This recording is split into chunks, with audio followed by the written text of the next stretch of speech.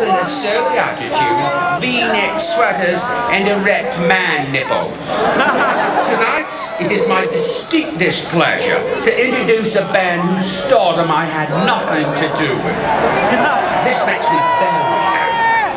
I wish so I could have managed their money. Simon! Did I say money? I meant career. My bad, mate. if Rage had entered X Factor, they wouldn't have made it out of boot camp. They would have been licking Joe's pointy little wanky boots. Rage Against the Machine actually beat my boy. And now, the band members, Tom, Zach, Tim, and Brad,